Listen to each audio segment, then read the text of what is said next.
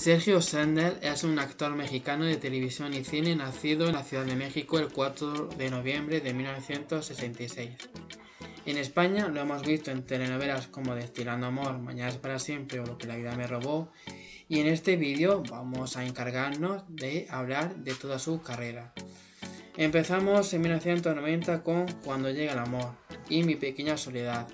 En 1991 le siguen Alcanzar una estrella 2 y La pícara soñadora. Y también Al filo de la muerte y Muchachitas. En 1992 Mágica Juventud.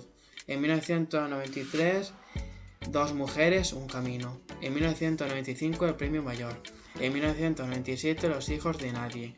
En 1999 Tres mujeres. En el año 2000 Ramona. En 2001 Mujer bonita y la intrusa.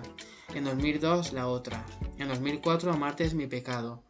En 2005 La esposa virgen. En 2006 Heridas de amor. En 2007 Destilando amor. En 2008 Mañana es para siempre. En 2011 Una familia con suerte. En 2013 Lo que la vida me robó. En 2015 Lo imperdonable. En 2019 Juntos el corazón nunca se equivoca. Y en 2021 Mi fortuna es amarte. Ahora quisiera recordar que en la descripción de este vídeo que estáis consultando viene disponible la dirección de nuestra página web donde también podéis consultar su biografía y que esta biografía la iremos actualizando conforme el intérprete se vaya incorporando a nuevas producciones o bien cuando algunas de estas pudiesen también ser emitidas en España.